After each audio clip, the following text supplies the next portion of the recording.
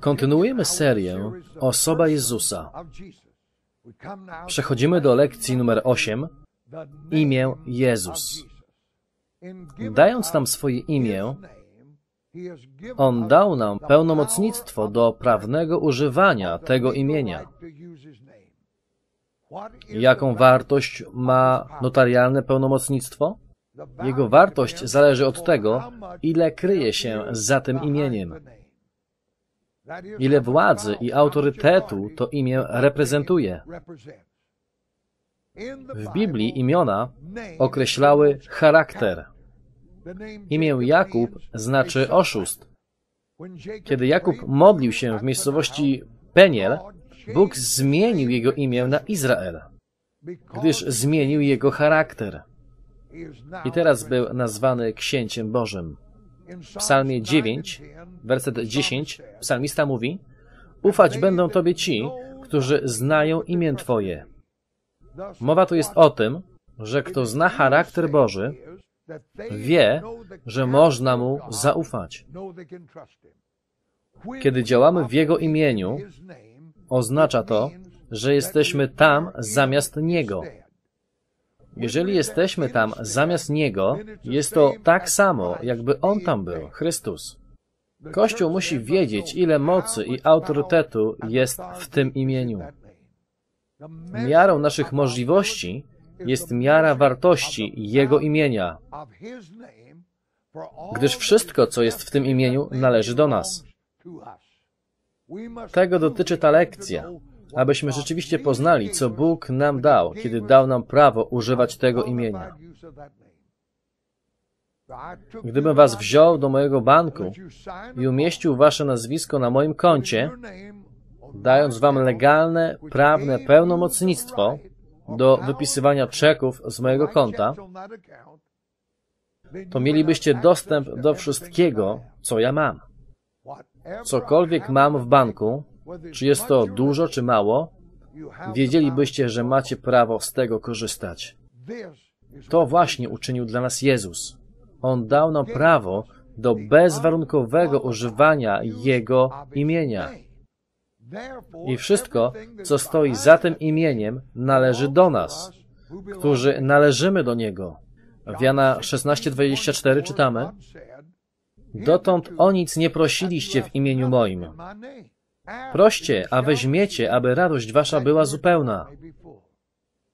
Jezus nie tylko daje nam prawo używania Jego imienia, ale również oświadcza, że każda modlitwa zanoszona w Jego imieniu spotka się ze szczególną uwagą.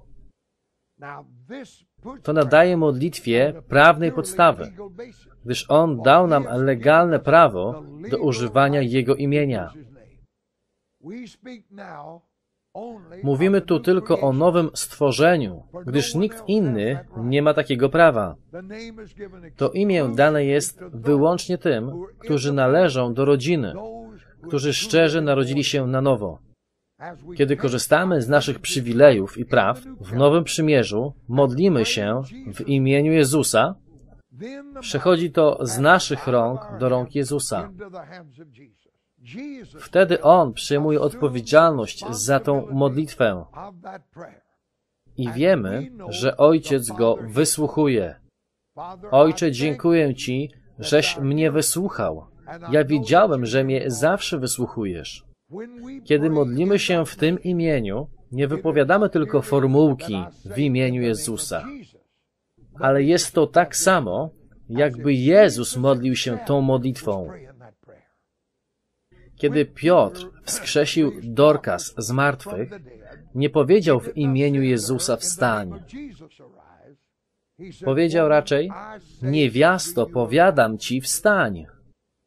Piotr wiedział, że był tam w imieniu Jezusa. Dla niego bycie tam oznaczało, że był tam Chrystus. Tak więc jego słowa, jego modlitwa były słowami i modlitwą Chrystusa, a Ojciec zawsze wysłuchuje Jezusa. Kiedy my chrzcimy w Jego imieniu, jest to tak samo, jakby Chrystus zanurzał ludzi w wodzie. My wiemy, że Ojciec zawsze wysłuchuje Jezusa. I kiedy modlimy się w Jego imieniu, Jest to tak, jakby to sam Jezus się modlił. My naprawdę Go reprezentujemy. Jakież wielkie dziedzictwo otrzymaliśmy w imieniu Jezusa. Kiedy się modlimy, zajmujemy tu miejsce Jezusa, by wykonywać Jego wolę, a On zajmuje nasze miejsce przed Ojcem. My reprezentujemy Go tu, w miejscu Jego odrzucenia, a On reprezentuje nas tam, w miejscu akceptacji. Pismo wyjaśnia to wyraźnie, że Jego imię jest nie tylko po to, by prowadzić życie modlitwy, ale zostało nam dane również do walki z duchowymi mocami ciemności. Marek 16, 17 i 18 powiada, a takie znaki będą towarzyszyły tym, którzy uwierzyli. W imieniu moim demony wyganiać będą, nowymi językami mówić będą, węże brać będą, a choćby coś trującego wypili, nie zaszkodzi im. Na chorych ręce kłaść będą, a ci wyzdrowieją. Tu Chrystus wyjawia istotę wielkiego posłannictwa. W tym ważnym dokumencie mówi, dana mi jest wszelka moc na niebie i na ziemi. Mateusz 28:18. Przez to uświadamia nas o swojej mocy. Potem mówi, idźcie tedy i czyńcie uczniami wszystkie narody, a oto ja jestem z wami po wszystkie dni aż do skończenia świata. On jest z nami w mocy i autorytecie Jego imienia. Jego imię określa Jego charakter i Jego autorytet. Co to imię oznacza dla Ojca, dla Kościoła i dla szatana? Dla Ojca musi ono znaczyć więcej niż nasze serca i umysły kiedykolwiek potrafią pojąć. Ale możemy wyjaśnić trochę z tego bogactwa, które Ojciec dał w tym imieniu. Po pierwsze, On dziedziczył imię wspanialsze niż jakiekolwiek inne stworzenie. Ojciec dał Jezusowi imię, które jest ponad wszelkie imię, aby w imieniu Jezusa ugięło się wszelkie kolano w trzech światach, w niebie, na ziemi i w piekle. Przez swoje zwycięstwo nad grzechem, śmiercią, szatanem, piekłem i grobem, on uzyskał imię, które jest ponad wszelkie imiona. Kiedy Jezus dał nam prawo używania Jego imienia, Ojciec wiedział wszystko, co to imię będzie obejmować, kiedy będzie wypowiadane w modlitwie przez nowe stworzenie. I On z radością to uznaje. Halleluja. W Izajasza 58, wersety 6 i 7 mamy opis postu, jaki obrał Bóg dla ukrzyżowania ciała człowieka, by rozwijało się w nim nowe stworzenie. To temu nowemu stworzeniu zostało dane to imię. O nim jest powiedziane, że kiedy poprzez post złamie ciało i zostanie wyzwolone, wtedy Twoje światło wzejdzie jak zorza poranna. Światło to światło, Boże światło. Potem jest powiedziane, i Twoje uzdrowienie rychło nastąpi. Twoja sprawiedliwość pójdzie przed Tobą, a chwała Pańska będzie Twoją tylną strażą. Gdy potem będziesz wołał, Pan Cię wysłucha. A gdy będziesz krzyczał o pomoc, odpowie, oto jestem. Nie ma większego bogactwa niż to, kiedy nowe stworzenie wypowie modlitwę w imieniu Jezusa, a chodzi w Duchu Bożym, to tam jest obecne to imię. Tam jest obecny charakter Chrystusa. Bóg słyszy człowieka duchowego za każdym razem. Nie tylko Bóg go słyszy, ale słyszy też szatan. Kiedy powie do szatana w tym imieniu odejdź, to on odejdzie. W jego imieniu wypędzamy demony. W jego imieniu uzdrawiamy chorych. W Jego imieniu jesteśmy więcej niż zwycięzcami. Takie jest imię Jezus. Bóg dał takie prawa dla budowania Kościoła. On złożył taki depozyt, z którego Kościół może czerpać w każdej potrzebie. Bóg dał Jezusowi imię, które ma w sobie pełnię boskości, bogactwo wieczności, miłość serca Ojca i to właśnie imię jest dane nam. Jeżeli chodzimy w duchu i używamy tego imienia, żadna broń ukuta przeciwko nam nic nie wskóra. Żaden demon nie będzie w stanie nas pokonać. Mamy prawo używać tego imienia w walce z nieprzyjacielem. Mamy prawo używać tego imienia w naszych prośbach. Kiedy przychodzimy do ołtarza, musimy zdawać sobie sprawę, że mamy prawo tam być tylko przez krew Jezusa. Z drugiej strony, z powodu tej krwi i naszej jedności z Chrystusem, jesteśmy tam przez zaproszenie. Bóg powiedział, przyjdźcie odważnie do tronu łaski. Kiedy przychodzę do ołtarza i jestem tam przez krew Jezusa i w Jego imieniu, wiem, że moje prośby są wysłuchane. To tak samo, jakby Bóg słyszał swojego Syna, Pana Jezusa Chrystusa, który zanosi te prośby. Kiedy walczę z diabłem, jestem tam w imieniu Jezusa. I mówię do diabła w Jego imieniu, to nie ja mówię, ale Chrystus. Żaden demon nigdy nie sprzeciwił się słowom Pana Jezusa Chrystusa. By mówić takim głosem, musimy stale żyć życiem złamanym i w poście. Ciało potrafi nauczyć się, jak zachować pozory, ale pozory nie mają mocy. Ta moc zawiodła również w rękach apostołów. W dziewiątym rozdziale Ewangelii Marka i w siedemnastym rozdziale Ewangelii Mateusza mamy zapis takiego właśnie wydarzenia. Jezus powiedział, że to z powodu ich niewiary. Oni nie pościli i nie modlili się, by ich niewiara znikła. Niewiara jest uczynkiem ciała. Wszelka niewiara pochodzi ze starego stworzenia. Co się narodziło z Boga, nie może grzeszyć. Oni nauczyli się, jak to robić.